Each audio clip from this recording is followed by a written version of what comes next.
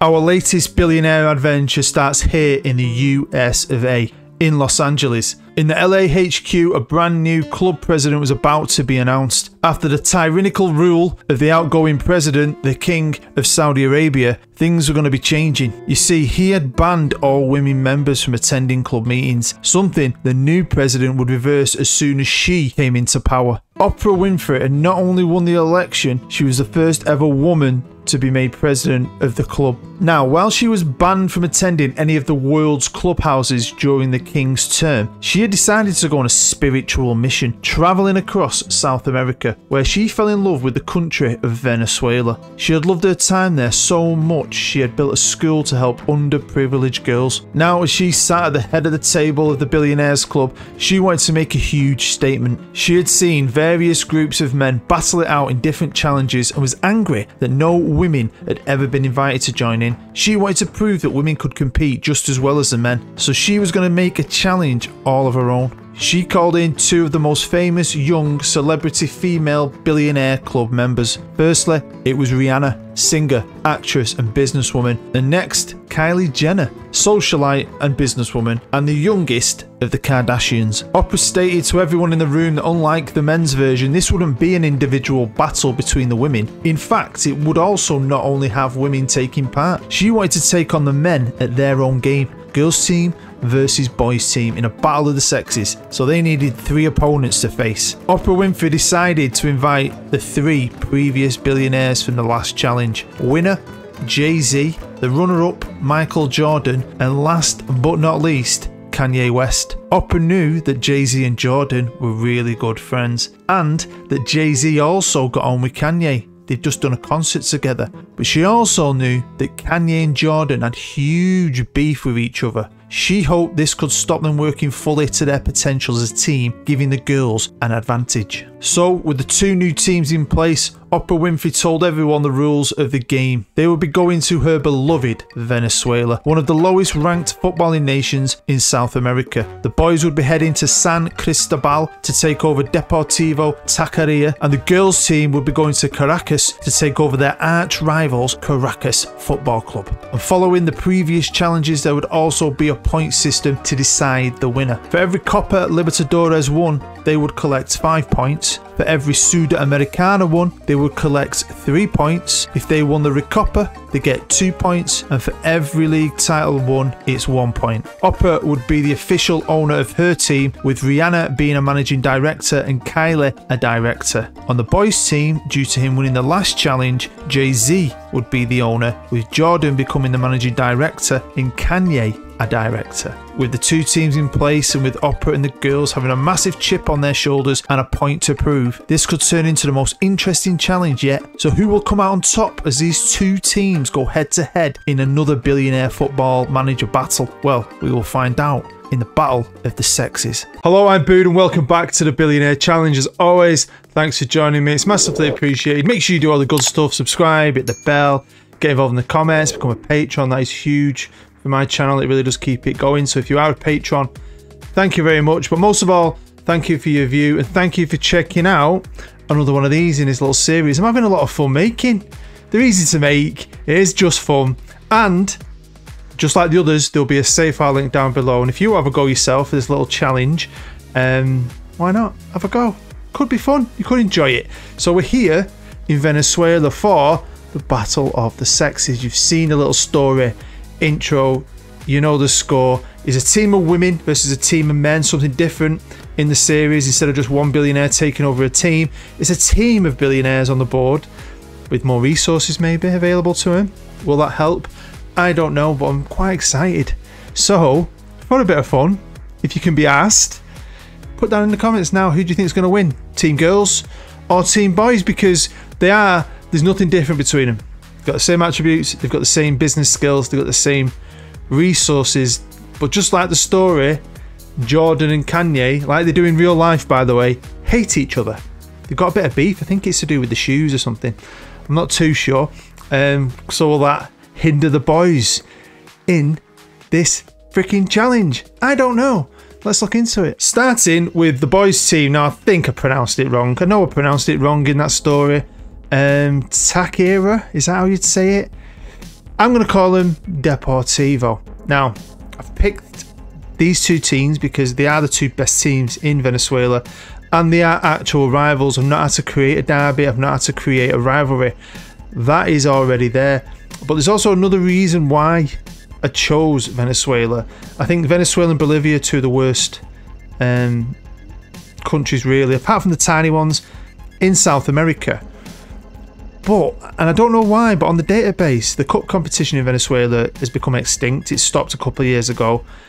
I downloaded a league to use and it's extinct there. So I'm pretty I'm, I'm assuming it's extinct in real life. So there's only the league and I quite like that. The Bolivia league didn't really work too well. So I chose Venezuela mainly because they're just going to be fighting out for league titles and then getting into continental football for Libertadores and Sudamericanas and all that stuff. So I thought it'd be quite cool. Now, just on like on other challenges recently, I've built them both a stadium. They're okay stadiums, but we've got Team Boys Park. Very imaginative, isn't it? Um, for Deportivo, 50,000 capacity. They've got the same ticket prices, the same season ticket holders. Give them a little bit of a leg up. And again, like on the other challenges, they've got 10,000 rep. But we've seen on other challenges, a lot of it depends on where you are in the world the reputation of the leagues you're in. So even though they're going to have a lot of money and high reputation, doesn't necessarily mean they're going to get the Ronaldos and the Messis of this world, but they still should be able to buy top class players and definitely improve the teams. Um, but again, they've got state of the art training, state of the art youth, exceptional youth recruitment, so hopefully they can create some of their own players and attract better players and train the players better that they've got. Now, on their history page, Deportivo have won the league. Beautiful trophy that. It reminds me. I mean, I'm not really into hockey, but it's got a look about it like that. Hockey, is it the NHL, National Hockey League? Looks like that, doesn't it? What's it called, that trophy? I don't know, because, no offence, definitely not a hockey fan. Um, but they've got 10 league titles already. And there's the board. So, will this make a difference? Because each one of them's got 20 resources, 20 business, the maximum they usually give these guys. But you've got Jay Z as an owner, Michael Jordan as a managing director, because Kanye came last in the last challenge, he's just a director. And again, like the other ones, I've not touched the players, I've not touched the staff or anything like that.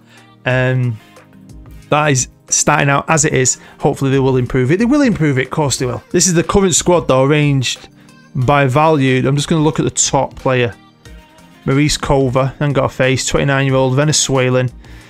He's, I mean, he looks okay. Be interested to see they bring in. Now, over to the girls' team, Caracas Football Club. Here we go, yep. Founded in 1967, the arch rival of Deportivo. One thing I've noticed, and you see this sometimes, don't you, is the amount of sponsorships on the kits. I mean, what was one, two, three, four, five, six, seven on that? I mean, what? Uh, where does it stop? How how did he do that? Why? Did, I mean, they're getting more on it. Maybe they're getting more money for it. They need to. Can't see it ever happening here. Imagine that. They're gonna end up with one on one ass cheek. You've got KFC on the other ass cheek. Freaking McDonald's logo on your knob. I mean, where's it stop? Bonkers, isn't it? Um, but again, they play the team girls park in Caracas. Same size, same tickets, as you can see. And they've got that rivalry. So they're going to be going toe to toe here, boys versus girls. I'm quite excited about it. Just to share with you, again, facilities, all top notch. Now they have 12 league titles in their cabinet already and four cups, but this cup, even though it's a trophy, why is it extinct? I mean, I tried to look into it a little bit and I couldn't find anything. I don't know, did it, it in, in the in the editor it stopped in 2017, so I don't know if it's a fault. They forgot to put it back on. The guy who created the league didn't put it back on. Um, but then I did like that. That it's just a league title and continental football to go for. And here's the girls, Oprah Winfrey, of course. Um, Rihanna, who's actually from Barbados. I knew that. I think some people think she's American, but she's not. Uh, and Kylie Jenner. I think she's made her billion. From, is it makeup or something? Not, i mean, I'm not. I know who Kardashians are. Never watched it in my life. Well, I did watch something with a Kardashian in. Once on a certain site but it's not for children, that's for sure. And this is their squad list arranged by value. Let's have a look at their top player. Lots of Venezuelans. Richard Celis. Now, one thing I did change again, similar to some of the others, is there was a foreigner rule. Scrap that. There's no foreigner rule. Um, they'll be able to bring in whoever they want from wherever they want. So here we go. Just like the others, we're going to jump forward 15 years. It's a good amount of time. Can't leave a computer running too long. I want to keep that consistency. Again, I know some people have said in other comments, you should do more. If you did 10 years more, they might have done it, or if you did 20 years more. But it's a challenge. You've got a window of opportunity. You've got to capitalise on that window. If you left it running for 50 years, uh, in all these experiments, everyone would win everything eventually, I'm guessing. I just think 15 years is a good capping point. If you don't do it, they don't do it. But I'm assuming someone's going to win, of course, because they're fighting it out and they get points for the league title. You've seen the point system, won't go over it again. But you know, there's there's options out there. They've got the, their version of the Champions League, they've got their version of the Europa League, they've got their version of the Super Cup to get points in, and of course the league. And um, and like no idea really who's going to come out on top. I mean, I'm wearing pink because you know this is the first time the girls have joined um, the challenge. But I'm team boys, man. I'm team boys. I want the boys to do it. So here we are now. It's the 1st of January 2037. We've jumped forward 15 years and the world ranking for Venezuela has definitely improved. I think they were 55th. They're now 23rd. And they've got players in their top players playing for Real Madrid, Juventus, Al Khalij. Now, if you're worrying about that, I've not made a mistake like I did once on one of the other challenges. I took all the money away. Everything. There's no like little side experiment my, from my last Saudi Arabia challenge. That all went back to normal. Um, so that's a genuine um, player gone to Al Khalij. I just I needed to say that in case you wondered. Um, because they were one of the teams in the last challenge. If you haven't seen that, go check it out. It's brilliant, one of my favourites. Um, but they've definitely improved the country having these two clubs with better facilities. I'm guessing. Obviously, Deportivo and Caracas are the two top teams. Well, just like the last one, I'm going to make a little bit of a graphic that I'll chuck on and overlay, um, where it'll show you how many of each competitions they've won, how much they've spent, and how many points they collected. But we're just going to go through the transfers quickly. Um, and when you look at the numbers, they're low compared to some of the other ones, especially the Saudi Arabia one, where we had a 501 million pound transfer window. Was it Kanye West who did that? I mean, they're still spending a lot more than they would have done originally, but the numbers are definitely, definitely lower. But did they need to spend it in this league to do well in this league and well in South America? Quickly go through the girls' team, Caracas, um, and the numbers are looking pretty similar. To be fair, I'm, I'm guessing. I don't think they would have spent a billion each. been the cheapest challenge yet, I think. Let's check out the boys' team manager, and this gives away a lot, and you can probably work out things for yourself, but we'll put it all together for you. Um, now they brought in Gerardo Martino, who I think in real life has he just become Inter Miami's manager. I think. Now he only left because he retired after eight years, seven league wins, four cup wins, and now they've got Victor Pacheco. Pacheco, you know me by now, surely. Uh, six leagues and five cups. Well, the numbers are definitely lower on the girls' team, but you know, until you add it up, you never know. You never know. Juan Carlos Osorio didn't last very long. Then they had a caretaker, and now they've had Marcelo Gallardo. He pops up quite a bit. He's won five leagues and two cups. Let's check out the boys' best ever 11. Looking at names, I'm looking at names. I mean, I recognise a couple. You won't say there's any absolute worldies, like top, top end Wonder Kids or anything, but it's Venezuela. Um, but one thing I've thought about, by the way, is I know everyone can go on Steam, you can download a league, but I was thinking of um, doing that for you at some point. Trying to get as many leagues as possible into one save file database um, so you don't have to bother and you don't have to have them all active, but you can switch them on and off depending on your computer or what you want to do. I'm thinking about doing that and turning it into a little video and putting it out there for you. Um, save you some work and give you the option of doing a, an amazing journeyman adventure maybe towards the end of FM23. I'm thinking about it. Let me know if you're interested. On to the girls' team's best ever 11. Wesley Fofana. He's just destroyed his knee in real life, hasn't he? I'm pretty sure he's done his as something. That's probably the most the biggest name that's jumping out at me. Now, because we had a look at the best player at the beginning, let's have a look at the best player value wise now. Now, he's injured, but it's George Silvero for the boys, obviously a regen right back. Um, hmm, right. And for the girls, it's a Colombian, Yaliston Riacos. Riascos. Yal. Never happening. I mean, bloody hell, is that it? So this is the history of the league. It's all they had to battle out for in Venezuela, and I think we're going to get the gist of who's won this. Um, but it's quite interesting. I mean, Deportivo won the first what four, but then Caracas won four, and you're thinking, is the tide turned? No, it hasn't. Deportivo won the next lot until this year. Somebody else actually won it.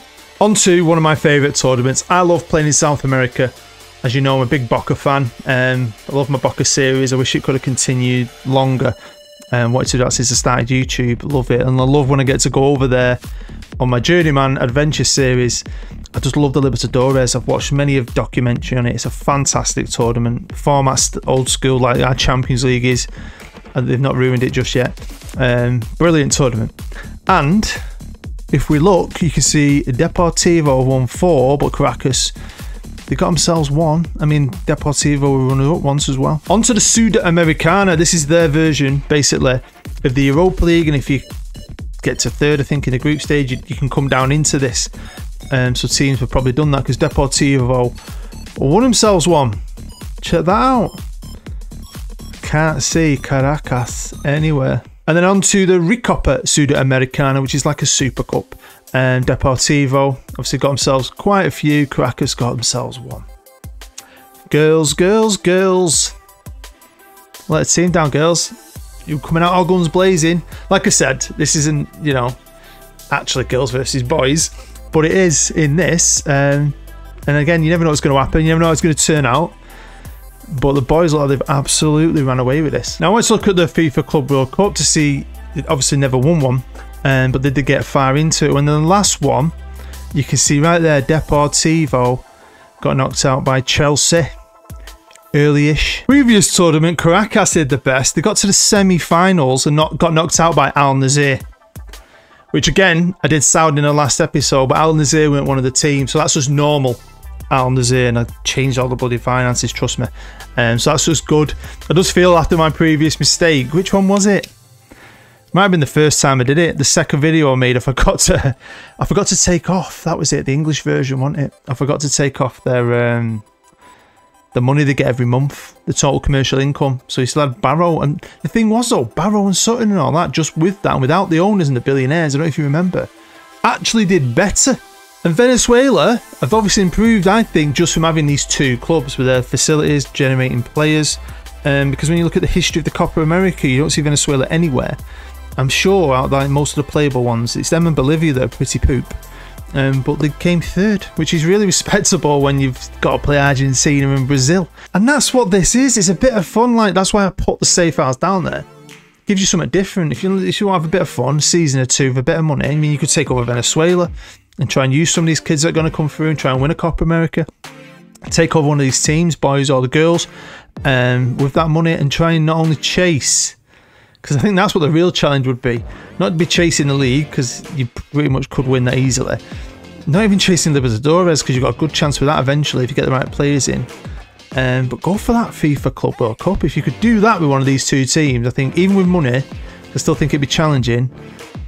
Fair play to you. I think we pretty much know who's won this challenge, but let's have a nice overlay look at it with a beautiful graphic I have prepared for you and quickly just remind you about the point system. So decided five points for Libertadores, three for a Sudamericana, two for a Recopa, and just one for that league title. So we might as well start with those boys from Deportivo, Jay-Z, Michael Jordan and Kanye West. Well, of course, we've seen they won a lot, and my God, they did pretty well. Four Libertadores, one Sudamericana, four Recopas, 10 league titles, giving them a total of 41 points, and they only spent 786 million. I think that's one of the lowest.